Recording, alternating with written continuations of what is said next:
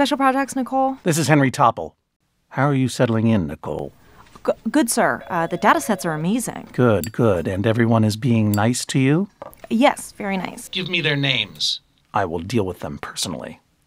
Now, I have a question about these uh, 33 RLs you submitted. 33 RLs. Uh, I'm sorry, which one is that again? Ms. Winters, deep skim summary of private electronic communications classified transit 002. Oh, okay, right. Uh, email. Yes. These emails you analyzed, how did you have time to read all these emails? There are millions of them. Are you a witch? Uh, the computer does it. Oh, right, of course. Line 10, read email. Line 20, go to 10. End of line. I get it.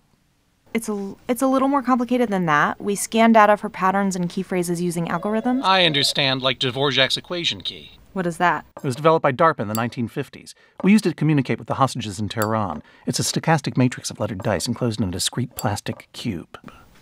Are you talking about Boggle? Maybe I am. Oh. We.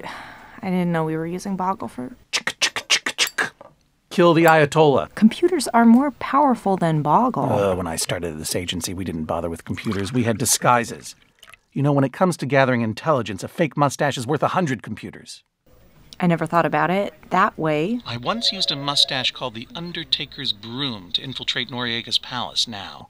That was a thing of beauty. Probably one of the top ten fake mustaches ever deployed in defense of our nation. I miss it. What happened to it? Oh, well, Missy, I'll tell you, in the 1990s, our mustache budget was slashed in favor of these computers that you love so much.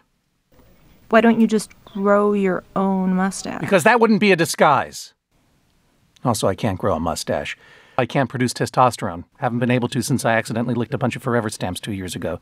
You know the post office doses them, don't you? I, I didn't. Do you know why they're called forever stamps?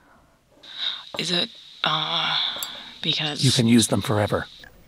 That was going to be my first guess.